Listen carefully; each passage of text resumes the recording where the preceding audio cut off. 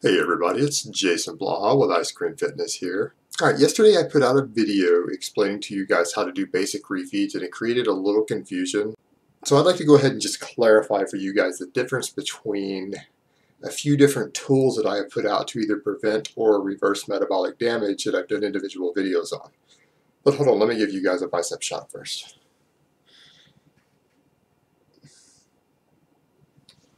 Oh, and a bunch of people are mentioning that I look a lot smaller when I'm sitting down, so for some of my new subscribers, I'll stand up real quick to give you guys an idea of my size. I'm currently about 206 pounds.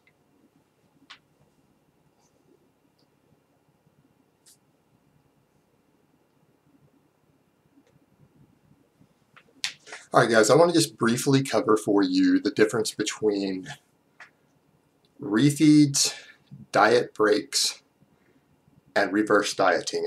And up here I'm going to link my three videos on these three different topics for you and I'll put them down in the comments below for the people who are on their phones. Refeeds are a first line defense against metabolic damage and muscle loss when you're cutting.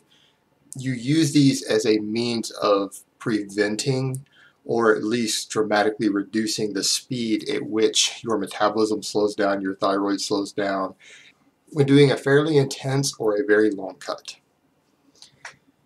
So it's kind of a first line tool that you use and watch the video on it before you start doing them so that you know who they're for and how to go about them.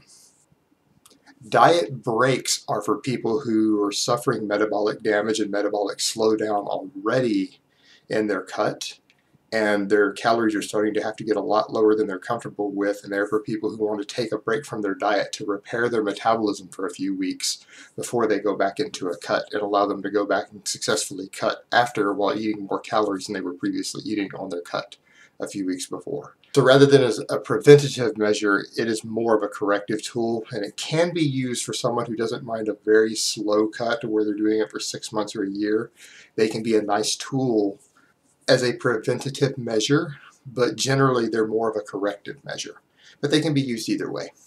And then lastly, reverse dieting is something that you do to repair long-term metabolic damage, such as someone who's done a very, very long cut, they, who has cut for five or six months or more, or someone who has cut down very, very lean, such as a contest prep or a photo shoot, but they want to maintain that level of leanness. Reverse dieting is a means of slowly bringing your metabolism back up, restoring some lost muscle mass, bringing all your hormone levels back up to normal over the course of sometimes even a couple of months, but doing so in a manner to where you do not gain any body fat. And some people actually get a little bit leaner on a reverse diet while still bringing their metabolism back up to speed so that they can go back into maintenance and maintain the body fat that they currently have, or if they want to go into a bulk they can ease into a bulk and be able to not gain very much fat initially with a rebound effect when they go into their bulk.